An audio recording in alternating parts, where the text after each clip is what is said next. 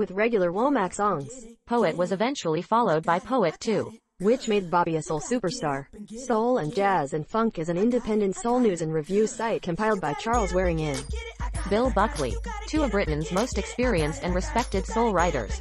The year 2021 marks the 40th anniversary of the release of Bobby Womack's masterpiece The Poet. This is the first time these two classic albums have been remastered from the original soundtracks. Womack the Poet 40 years later The original soundtracks, long thought lost, have been rediscovered and are the source of new remasterings. Contact us. we offer very competitive rates for placing your listing on our site. If you request an account, you can respond to all your favorite content at SJF.